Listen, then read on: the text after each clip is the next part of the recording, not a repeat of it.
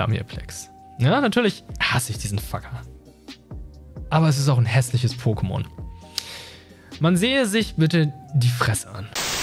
Moin, hallo und herzlich willkommen zum zweiten Teil meines Pokémon-Tier-Videos. Ich ranke Pokémon aus allen Generationen. In meinem letzten Video, das ihr vielleicht hier sehen werdet, habe ich ja die erste Generation gerankt von Bisasam bis Mew, die Kanto-Generation. Ich musste gerade noch überlegen, wie die hieß. Und heute geht es mit Yoto weiter. Ich sag's gerne nochmal, das ist meine persönliche Liste.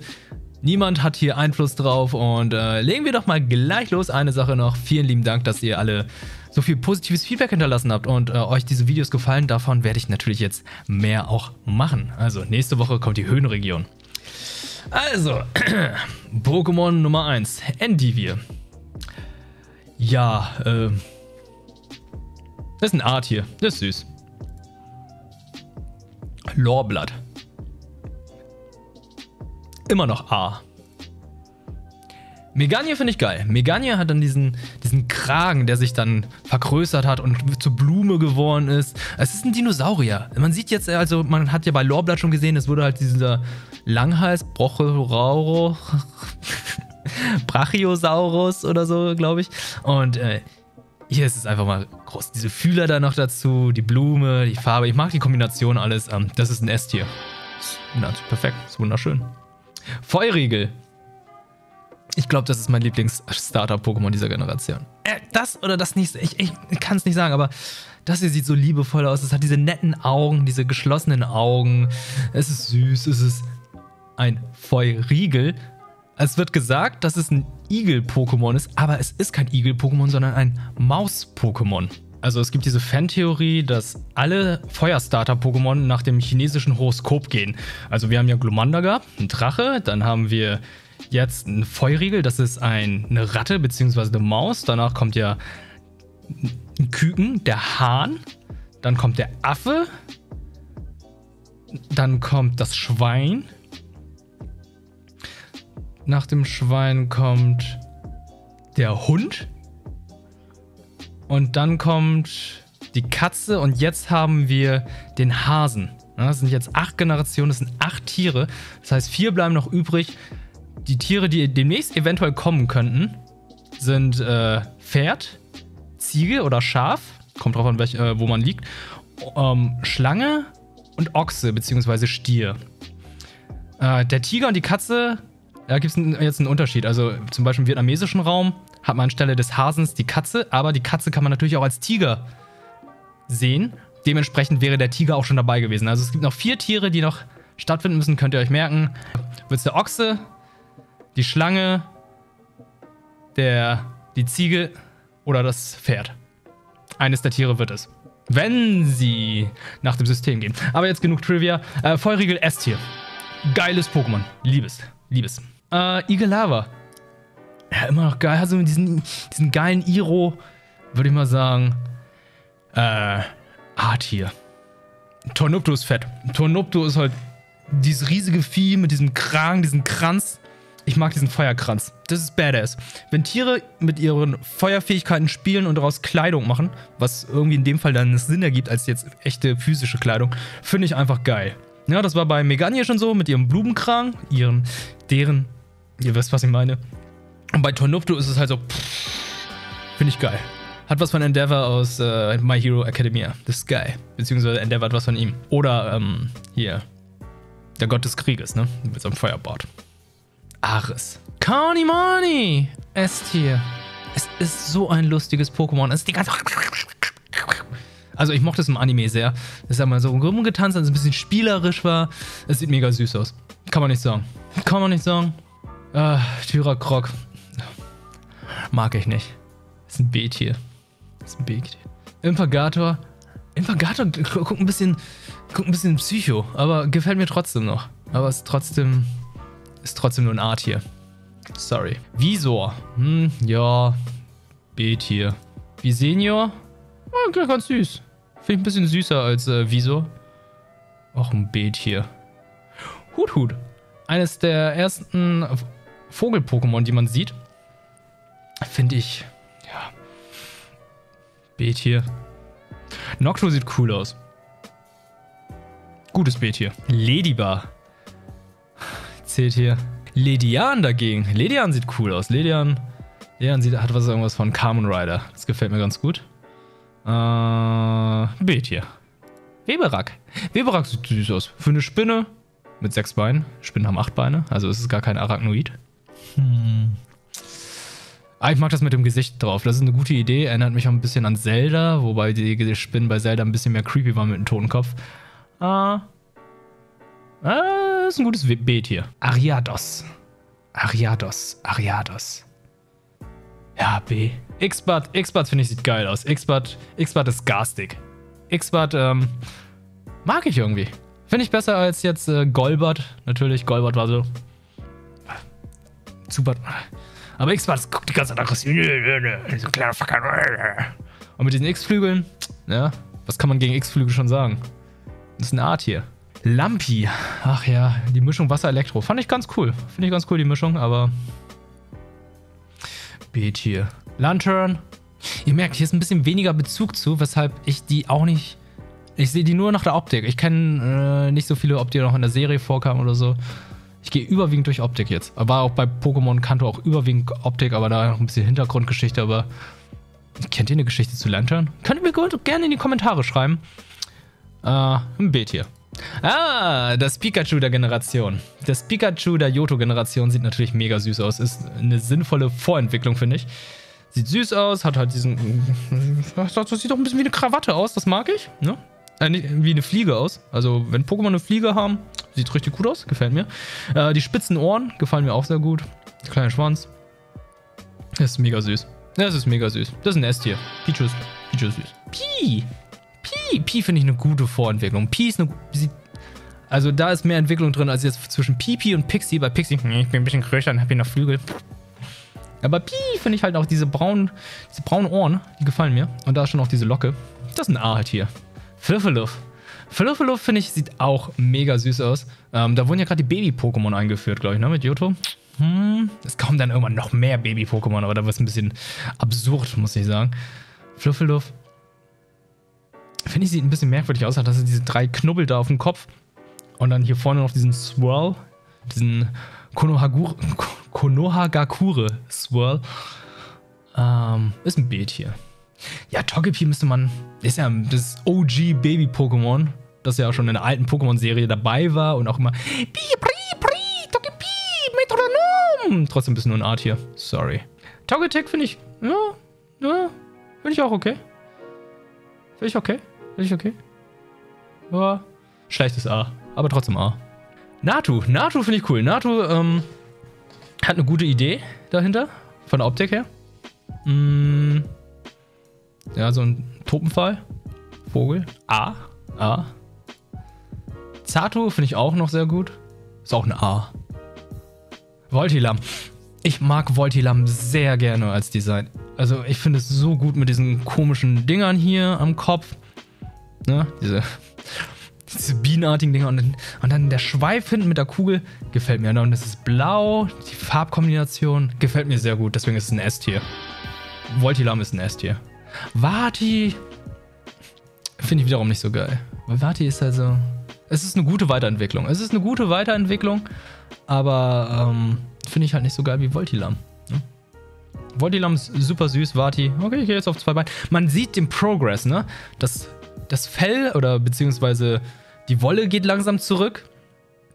Und in der nächsten Stufe hat man ja das Ampharos und ich finde, das hier ist ein A. Das ist ein gutes A. Aber Ampharos wiederum. Ampharos ist ein S-Tier. Ampharos sieht cool aus. Ich mag die Kombination, dass es dann aus dem Schaf, dass es nach und nach dann steht, hell verschwindet und ist ein komplett anderes Tier geworden, aber man sieht halt, da, sind noch, da ist noch die DNA drin. Es ist eine sinnvolle Weiterentwicklung, finde ich. Also man sieht den Progress, das gefällt mir sehr, sehr gut. Man hat ja noch den, den Schwanz, den Schweif gehabt, man hat diese komischen Dinger, die vorher hier waren und jetzt nach oben gehen. Ähm, und dann noch diesen Kristall auf dem Kopf. Gefällt mir. Gefällt mir sehr gut, deswegen zu Recht S-Tier. Bluebella. Alternative Weiterentwicklung zu Duflor. Äh, Giflor fand ich sehr, sehr cool. Ne? Aber Bluebella? Ah, Bluebella ist eigentlich auch schon. Ist ein Cutie.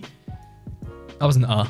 Ist ein A für mich. Meryl, Meryl, aka Pika Blue, weil die ersten geleakten Bilder von Pokémon, da dachten alle so, was ist das, wer bist du und wie nennen wir dich, wie heißt du? Und äh, die geleakten Namen, also die Namen, die die Leaker gegeben haben, das war Pikachu, weil wie sieht aus wie Pikachu, ist blau, ja, Pikachu.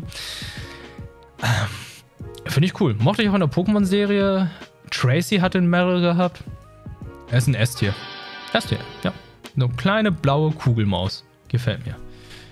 Azumarill mag ich überhaupt nicht. Azumarill, das aus dieser großen Kugelmaus, stellt sich dann plötzlich heraus, dass es äh, ein Hase ist. Nicht geil. Nee, nee, nee, nee, nee. Ja, deswegen, es ist ein B-Tier. Es ist so ein Downgrade. Mogelbaum ist geil. Mogelbaum hat schon diese swaggy Attitüde, wie das aussieht und die ganze Zeit herumrennt. Ich, äh, in der Serie fand ich's, hatte ich es, glaube ich, mal gesehen, da war es mega witzig. Ich finde, an sich ist es sehr witzig. Auch die Animationen in Pokémon Stadium oder den Spielen waren auch sehr lustig. Uh, wie man Mogelbaum begegnet, finde ich auch sehr gut. Also, das ist ein S-Tier. Und, und das ist dann kein Gras- oder Pflanzen-Pokémon, sondern Gestein. Das macht mich fertig. Also, ähm, Verwechslungs Verwechslungsgefahr pur. Gefällt mir. Mogelbaum ist cool. Quackshow. Noch eine alternative Entwicklung. Und zwar von Quapuzzi, wenn man dem einen Königsstein gibt. Dann wird draußen Quackshow. Ja, aus der Kaulquappe wird ein Frosch. Das cool, das ist eine gute Idee. Man sieht da halt, wie gesagt, ich sag's mal sehr gerne, ne, die DNA, ne, der Ursprung des Pokémons sieht man auf dem Bauch noch mit dem Swirl. Und äh, dann haben wir noch diesen, noch ein Haar da oben, ne, würde ich mal sagen. Ich finde es mega süß. Es sieht cool aus, das ist ein A. Das ist ein sehr gutes A. Aber reicht nicht für ein S. Hauptspross. Sagt mir nichts. Sagt null Gefühle zu. Das sieht süß aus. Das ist ein B-Tier. Oh, Hubeluff. Hubeluff. Ist ein B-Tier. Papunga. Ist ein B-Tier. Ich hasse Griffel. Also, das Pokémon ist irgendwie geil designt. Es hat diesen Psychoblick und hat diese, diesen, den Schwanz, wo dann auch diese Finger dran sind. Aber ich hasse das Pokémon. Ich weiß nicht warum. Ich finde es super gut designt, aber ich hasse das Pokémon. Ich weiß nicht, wo der Hass herkommt. Aber ich hasse es nicht so sehr, dass ich sage, das ist ein E oder ein D. Aber vielleicht ein C? Es ist ein C. Sonnenkern. Zoomkern. Äh, sorry, Bro, aber das ist eine Sonnenblume. Ja, da kann ich nicht viel sagen. Hm, C. Sonflora. Sonflora sieht gut aus. Sonflora hat gute Laune. Sonflora sieht gut aus. Ähm, bockt? B. Janma. Was geht, Digga? Janma. Hm. Finde ich gut, eine Libelle einzuführen. Die Libelle sieht auch gut aus. Äh. Das ist ein C. Felino, Felino, Felino mag ich. Felino ist ein Axolotl. Ja, mit WLAN-Empfang. Und ähm, das sieht süß aus. Das sieht mega süß aus. Das ist ein Art hier. Morlord. Morlord gefällt mir. Morlord finde ich cool. Morlord hat Swag. Hat, hat so diese, hat so einen netten Blick, sieht gut gelaunt aus. Ist ein Art hier. Ah, weitere Evoli-Entwicklung. Siana. Siana schon swaggy. Siana ist cool mit dem gespaltenen Schwanz. Farbe ist cool, der Blick ist cool. Eigentlich ist Siana schon echt gut. Er ist ein A-Tier. Nach Tara wiederum finde ich ein bisschen cooler. Nach Tara S-Tier. Das ist halt diese Ringe, die noch dazukommen. Die Farbe, ne? Schwarz-Gelb finde ich ganz gut. Die roten Augen. Dass es dann auch eines Unlicht-Pokémon ist. Gefällt mir ganz gut. Das ist äh, sehr cool. Kramox! Kramox, Kramox, Kramox. Ja, Sieht aus wie eine Hexe. Ist ein Bild hier. Lacho King ist cool. Also erstmal, wie es da steht, ne? Mit den Händen auf dem Rücken. Und dann die Krone, dass ein Muschas oben dazu weist. Ähm, sorry, das Ding ist so geil. Das ist so gut. Lacho King, ein großer Fan von, von Flagmon. Lacho King ist hier. Ne? Hail to the King, Baby. Traumvogel. Ich vergesse immer wieder, dass es dieses Pokémon gibt. Sagt mir nichts. Aber es sieht gut aus. Es ist nett designt, es ist ein Geist. Ein C-Tier. Ah, ein Inkognito. Ein Buchstabe. Nette Idee. Nette Idee finde ich tatsächlich, dass es äh, viele davon gibt. 26 plus Ausrufezeichen und Fragezeichen. Also 26 Buchstaben. Ah. Aber trotzdem. Eine mystische, also die Geschichte dahinter cool, das Design wiederum ist ein C. Wingenau. Wingenau ist cool. Wingenau in der Pokémon-Serie. Geil. In Pokémon Nuzlocke hasse ich wie die Pest. Aber ähm, unabhängig vom Pokémon Nuzlocke, ich finde das Pokémon so lustig. Es sieht nur nach guter Laune aus. Äh, auch in Smash Bros. Das ist ein S-Tier. Ne? Ich mag es auch, diesen kleinen Schwanz da mit den Augen. Ich habe keine Ahnung, was es ist. Ist es das echte Pokémon? Ich glaube, das ist das echte Pokémon und das ihn genau vorne, das ist gar nicht das Pokémon, ne? Ist die Geschichte dahinter so? Wenn ja, schreibt es bitte in die Kommentare. Ne? Dass dieses blaue Ding einfach nur Deko ist. Das wäre echt interessant. S-Tier, Baby. Girafarik. Ich habe erst vor kurzem erfahren, dass Girafarik vorwärts, rückwärts das gleiche ist. Ich bin so ein dummer Mensch. Aber ja, wenn man sich den Namen einfach nur Girafarik so durchliest und nicht darü viel darüber nachdenkt und jedes Mal das Pokémon sieht und denkt so, ja, das ist für mich uninteressant, dann passiert das. Und für mich ist es leider auch uninteressant. Das ist ein B-Tier. Nee, C, C, sorry, es ist uninteressant, das ist C. Das gleiche gilt auch für den Tanzzapfen hier. Ein Tanzzapfen mit Augen. Das ist ein Käfervogel. Das ist ein C-Tier. Frostelka. Frostelka. Das sieht ein bisschen interessanter aus. Ich mag die Farben. Ich mag die Farben. Die Kombination, ich habe keine Ahnung, was das sein soll. Bleibt bei C. Dummiesel. Vergesse auch immer wieder, dass es dieses Pokémon gibt. Das ist ein C-Tier. Skorgler. Skorgler, ähm, finde ich cool. Skorgler, äh, ist ein Flugskorpion. Finde ich schon sehr, sehr interessant. Auch die Kombination Boden-Flug, die ist echt gut. Das ist gut. Deswegen ist Skorgler ein A-Tier. Stalos Boah, ich weiß gar nicht, was ich Onyx gegeben habe, aber ich finde Onyx irgendwie immer noch geiler als Stalos. Stalos sieht mir zu aggressiv und edgy aus. Aber es ist trotzdem ein gutes Pokémon. Es ist, ist, schon badass. Ne? Es ist badass. Stahl, ne? Eines der ersten Stahl-Pokémon. Ähm, ja, B für Badass. Snowball. Snowball. Oh Gott.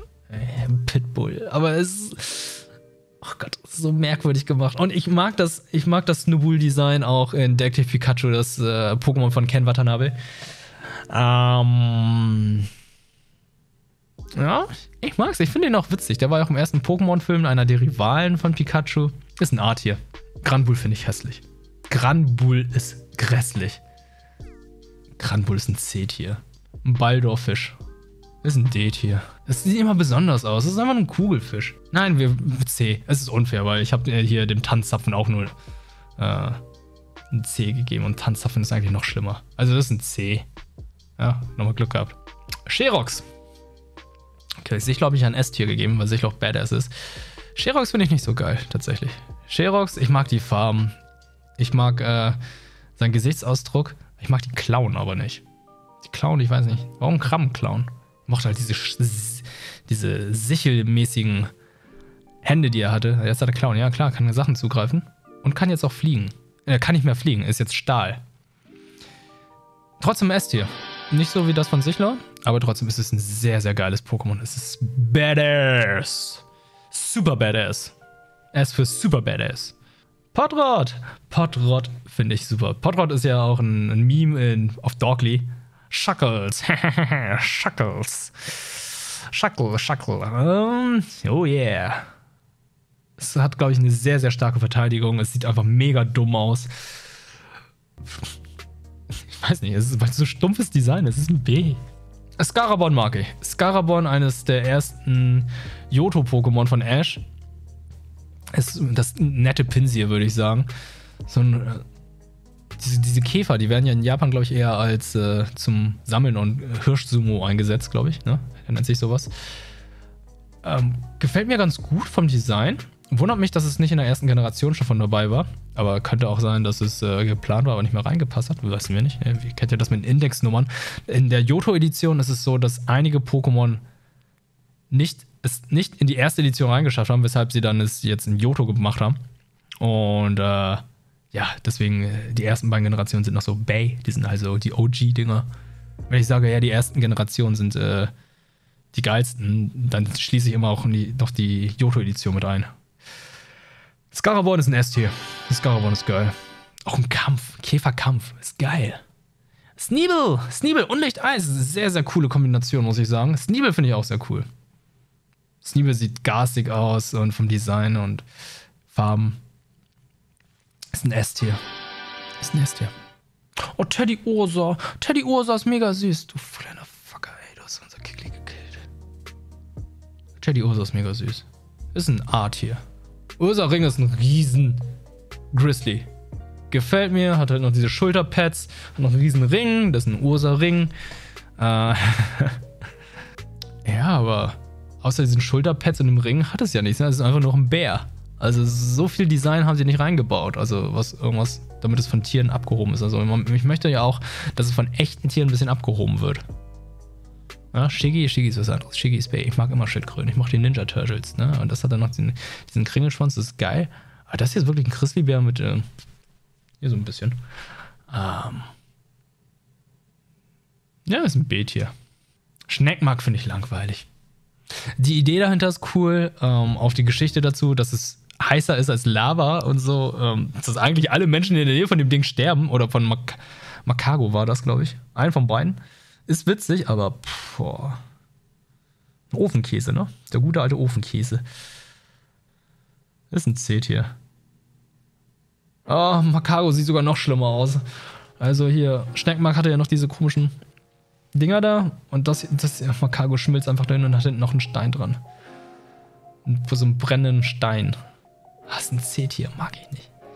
Queakle mag ich. Queakle sieht super aus. Schönes Eisboden-Pokémon. Ach, armes Bisa-Schwein. Äh, ist ein, ist ein B-Tier. Keifel ist auch cool. Äh, Keifel gefällt mir. Halt mit diesem Pony hier. Das Augen verdeckt. Ist mir auch ein Beet hier. Corazon. Das ist eine Koralle mit Augen. Ist okay. Ist okay. Ja, Galada, das ist Geist. Ist ein Beet hier. Remorite. Oh, jetzt kommen die hässlichen Fisch-Pokémon. C-Tier. Octillery. Octillery sieht cool aus. Octillery sieht aus, als wäre es ein Gegner aus Zelda oder so. Octillery, finde ich, ist, ist äh, das, was Nintendo ist, finde ich. Also, Nintendo-Design, das ist Octillery. Das finde ich, so sieht's aus. Könnte auch ein Mario-Spiel sein. Art hier. Botogel. Botogel finde ich lustig. Ähm, finde ich natürlich wieder doof, dass es ein Pokémon ist, das Items trägt. Das hat ja so diesen Beutel bei sich. Aber es sieht so gut gelaunt aus. Sieht mega nett aus. Äh, hat immer Geschenke dabei. Ist ein Eistyp. Auch diese Dinger hier. Ach, das ist cool. Das ist ein Art hier. Mantax. Man dachte ja immer hier, Mantax und der Fisch gehören zusammen. Aber es ist immer nur so gezeichnet. Ich weiß auch nicht warum. Mantax ist auch Flug-Pokémon. Das ist ein Rochen. Das ist ein nett aussehender Rochen. Das war's eigentlich auch. Das ist ein C-Tier. Panzeiron. Finde ich geil aus. Flugstahl-Pokémon. Auch die gute Kombination. Äh, ist ein B-Tier. Ist geil, aber es ist ein B-Tier. Das ist ein cooler Hund. Das ist ein A-Tier. Das ist ein sehr, sehr guter Hund. Aber, ja, Hundusta ist gut. Aber Hundemon, oder Hundemon, Hundemon, Hundum, ist ein S-Tier. Das ist einfach Satans, Satans Little Helper. Das ist Satans bester Freund. Der sieht böse aus. Der sieht gut aus. Gefällt mir. So muss es sein. Auch mal diesen, diesen Schwanz, diese Hörner, diese Attitüde, die dazu kommt. Ey, Hondemon ist geil. Cetra King. Ey, Sepa, langweilig. Ähm, das, was danach kommt, Seemon, langweilig. Aber Cetra King finde ich geil. Cetra King hat so ich habe genug Shit gesehen. Ich bin jetzt ein altes Seepferdchen und werde zum Drachen. Sieht gut aus. Ich finde, es sieht gut aus. Hat ein bisschen mehr, mehr Ausdruck. Ist eine Art hier. Panfi ist mega. Pa äh, Pan Panfi. Panfi. Panfi finde ich mega süß. Ist äh, so, na, die kleine Maus. Die Sendung mit der Maus hat den kleinen blauen Elefanten. Und das ist die japanische Version von. Mega süß. Ist ein Art hier. Aber nicht süß genug, um es S zu sein. Donphan ist einfach badass. Also Donphan ist halt ein Elefant mit so einer Panzerung vorne draus. Aus Stein. Das ist zwar ein Boden-Pokémon, aber ich würde mal sagen, das ist Stein. Hat er noch diese komischen. Sind das, die, sind das die Ohren mittlerweile oder so? Und dann halt noch diese Stoßhörner dazu. Also, dieses Pokémon ist auf Radau aus. Das ist geil. Das ist ein S-Tier. Das ist ein fucking S-Tier. Porygon 2. Äh, langweilig. Hatte ich irgendwann schon mal in der Sendung erzählt. Ähm, das hat ja eine niedrigere Indexnummer als Porygon 1. Ne? Dementsprechend geht man davon aus, dass dieses Porygon eigentlich in die erste Generation rein sollte, es aber nicht geschafft hat und jetzt in die zweite Generation kommt. Der Grund, weshalb Porygon 2 schwerer ist als Porygon 1, ist, weil Datenpakete nach einer Zeit ja auch immer größer werden und dementsprechend äh, wurde auch Porygon 2 größer und schwerer. Gute Erklärung, ne? Ja, äh. Zählt hier. Damirplex. Damirplex, ganz im Ernst. Ich habe eine Geschichte mit dem. Ne? Schaut euch gern diese Pokémon-Folge an. Pokémon Nuzlocke auf Rocket Beans TV. Aber jetzt unabhängig davon. Ja, natürlich hasse ich diesen Fucker. Aber es ist auch ein hässliches Pokémon. Man sehe sich bitte die Fresse an von diesem Pokémon. Es ist. Es sieht einfach so aus, als würde es geschlagen werden. Und was ist das da am Hintern? Ich kann es nicht erklären. Ist das ein Ball? Ist das der Schwanz? Das ist ein ganz merkwürdiges Pokémon. Das ist mega hässlich, deswegen zählt hier. Nicht hässlich, dass ich es D gebe. Es ist noch keine. Es ist noch keine Rossana. Farbigel. Ja, nette Idee. Finde ich, sieht trotzdem nicht geil aus. Ja. Also, Hund mit äh, dieser Baskenmütze und ist ein Maler. Eigentlich eine sehr gute Idee. Ich mag sowas, ich mag sowas, aber sieht nicht geil aus. Das ist ein C-Tier. Rabauz. Rabauz ist eine nette Idee, dass es so die Vorentwicklung ist von Kikli und Nokshan und dann auf die, aufgrund der Werte dann sich weiterentwickelt. So ein kleiner Grabbler. Ist ein B-Tier. Capoeira finde ich geil. Capoeira, der kleine Breakdancer. Ja. Das ist ein B-Tier. Ah, oh, Kusilla. Ach komm. Kusilla finde ich schlimm. Kusilla ist ugly. Kusilla ist ugly wie Rossana, ja? Wie die Mama. Das ist ein D-Tier. Boah, und dann diese Attitüde. Mm, mm, mm. Das ist Mucho. Nee, mag ich nicht. Elekid mag ich. Elekid, diese kleine Steckdose, die dann zu Electric wird. S-Tier. Gutes Baby-Pokémon. Sehr, sehr geiles Baby-Pokémon. Gefällt mir. Das ist lustig. Sieht gut aus. Der Gesichtsausdruck. Magby. Magby mag ich mehr als Magma. Magby sieht super aus. Magby ist mega süß. S-Tier. Die Frisur auch noch dazu. Ja, diese Locken. Mag ich. Miltank. Das ist eine fucking Kuh. Das ist eine fucking Kuh, aber. Oh. Irgendwie auch lustig. Irgendwie schon lustig. Das ist ein B-Tier. Hytera! Hytera! Hytera? Ja. Ich weiß nicht. Ich spür's nicht. Ich spür's nicht. Ich fühl's nicht. Das ist ein, das ist ein C-Tier. Raikou. Ah, Raikou ist nicht mein Lieblings-Pokémon äh, von den drei Biestern. Ist ein B-Tier. Finde ich geil. Ja, also, ist, der Schwanz ist ein Blitz und das hier vorne mit dem Stern. Also, hm, nee, finde ich geil.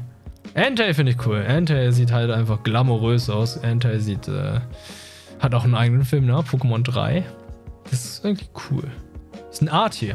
Aber mein Lieblings-Pokémon der drei Biester ist Suicune. Suicune ist, äh, ist slick, ist einfach so gut gebaut, ne? Also, diese Haare, die dazukommen, ne? Diese Frisur, diese komischen Kopf. Okay, ja, kann man darüber diskutieren. Finde ich geil, noch diese Schleifen, die da rum sind. Sehr gutes Design. Ist ein S-Tier. Lavita finde ich, hat Attitude. Lavita ist badass. Das ist ein A-Tier. Pupita, oh, verpuppt es sich, ja, Safkorn, Kokuna teilmäßig. Wird ja noch später bei der äh, Wurmkind auch so sein. Ähm, nee, Mann, das ist ein Safkorn mit Augenbrauen. Das ist ein, das ist ein Beet hier. Despota, Gojira. Badass. Gestein und Licht. Das ist ein Ästtier. Sieht mächtig aus. Despota ist ein potenziell legendäres Pokémon für mich. Also nicht nur, nicht nur legendär, es wäre tatsächlich ein Boxart-Pokémon, finde ich. Von der Optik her. Sieht gut aus. Gefällt mir. S-Tier. Stein Unlicht, da kann man nichts gegen sagen. Lugia. Lugia ist geil. Lugia ist mein Lieblingslegendäres Pokémon, dementsprechend ist ein S-Tier. Psychoflug, es gibt viele Geschichten dazu über den ähm, Erfinder von Lugia, beziehungsweise der ihn designt hat dass er eigentlich wollte, dass es ein Wasser-Pokémon ist, aber die Leute von Game Freak meinen, es ist ein legendäres Pokémon, wir können es nicht Wasser machen, es muss einen stärkeren Typen haben. Es ist Psycho geworden. Aber es wird überall mit Wasser in verbunden, mit, mit Wasser in äh, Verbindung gebracht, weshalb äh, ist immer, wie soll ich sagen, Leute immer sich irren, wenn sie sagen, ah, Lugia ist ein Wasser-Pokémon, ist ein Psycho-Pokémon.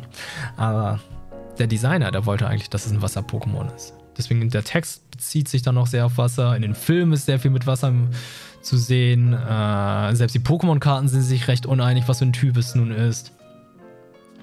Lustige Geschichte. Es gibt eine sehr gute Did You Know Gaming-Folge zu Lugia. Sehr, sehr tragisch, weil ähm, der Designer von Lugia dann auch sich um den Pokémon-Film gekümmert hat, Pokémon Millennium, den zweiten. Und der Typ Alkohol, Drogenabhängig, also ich glaube Schmerztabletten oder was auch immer großes Rauf und Runter und Rauf und Runter. Hm, sehr tragische Geschichte zu dem Mann, der, ihn, der Lugia designt hat.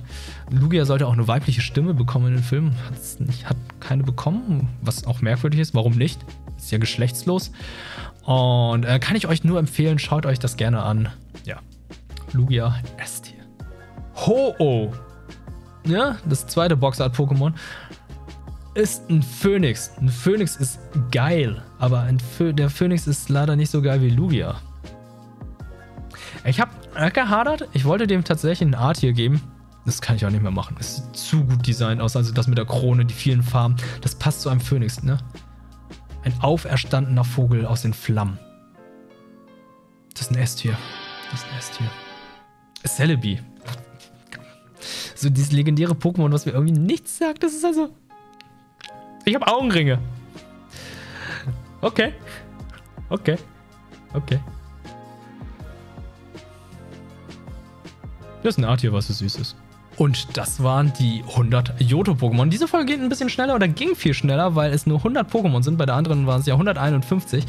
Da habe ich auch ein bisschen mehr erzählen können. Da hatte ich mehr Trivia, hatte ich mehr Informationen gehabt. Aber zu den anderen Pokémon-Editionen, wozu ich jetzt auch noch ein Video machen werde, ist ja nicht so, dass ich nichts sagen kann. Ich kann ja immer noch sagen, ob die geil aussehen oder nicht, ob sie mir gefallen. Und ich werde bestimmt auch zu dem einen oder anderen eine Trivia haben, weil ich gucke im Moment so viele Pokémon-Videos und äh, erfahre gerade so viel über die Pokémon-Welt. Also ähm, seid gespannt, wenn es euch das Video gefallen hat dann hinterlasst doch ein Like, schreibt in die Kommentare, wie ihr das fandet, welches euer Lieblings-Pokémon aus der Johto-Generation ist. Und ansonsten sehen wir uns dann nächste Woche wieder, wenn es in die Höhenregion geht. Also bis dann und bleibt gesund. Bye bye.